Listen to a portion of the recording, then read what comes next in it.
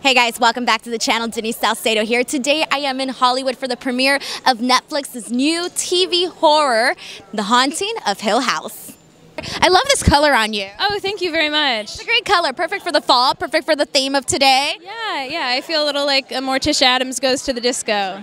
I love that. I love that. So now let me ask you, how do you feel right now knowing that the show is about to come out this week on the 12th? All your hard work is finally going to be shown. Tell us a little bit about your experience working on The Haunting of the Hill House.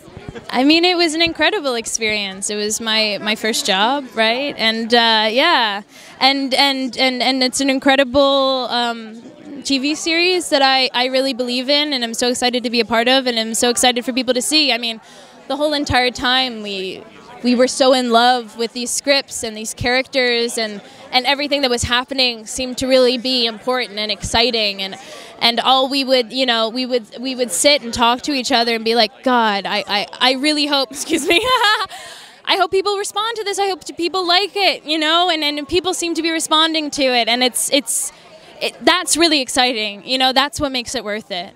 Now you mentioned that this is your first job and it's on Netflix. You yeah. get the show on Netflix. Yeah. What was sort of the process of you auditioning, landing this role, and what was your reaction? you got the job. Dead.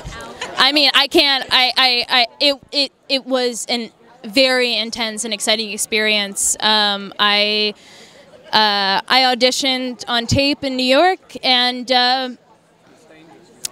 and then I uh, came to LA to uh, you know kind of test for the producers. But I mean, after the audition, Mike seemed you know really excited about me doing it, and, and, and that's crazy. You know, it's it's it's incredible. I just came out of a four year drama program, and uh, you know my expectations for my career, I I, I, I set somewhat low, you know, and it, it was such a surprise and an excite and and just a complete honor, you know, to be working not only on an incredible project with an incredible director, playing incredible, but also playing an incredible character that I believed in and was so excited to bring to life. Amazing. Well, honestly, congratulations. And I know from here you're just going to keep going higher and higher. So it was nice meeting you, and I can't Thank wait to watch the show. Take care.